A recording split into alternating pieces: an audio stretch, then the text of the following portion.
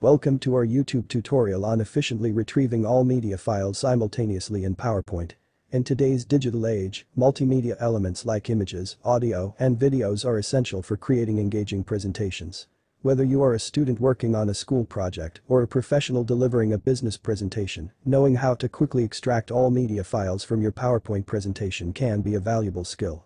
In this video, we'll walk you through the step-by-step -step process to efficiently retrieve all media files from your PowerPoint presentation.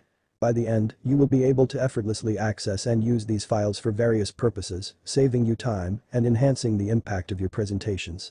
This method is effective even with locked files. Now, let's get started with the process of efficiently extracting all media files. Begin by closing your PowerPoint presentation. Right-click on your presentation, select Rename and change the file extension from .pptx to .zip.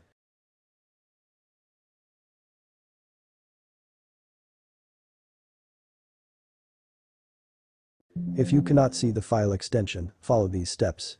Click on the three dots at the top, then select Options.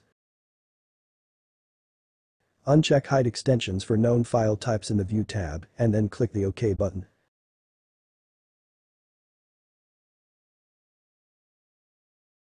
Open the zip file, navigate to the PPT folder, where you can find all the media files within the media folder.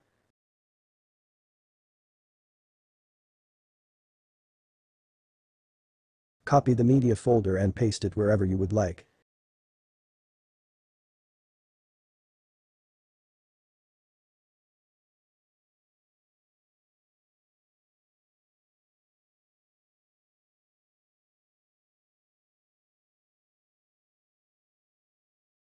And there you have it a straightforward method for efficiently retrieving all media files simultaneously from a PowerPoint presentation. If you found this tutorial helpful, please don't forget to give it a thumbs up, subscribe to our channel for more informative content, and share it with others who might benefit from this knowledge. Thank you for watching, and we'll see you in the next video.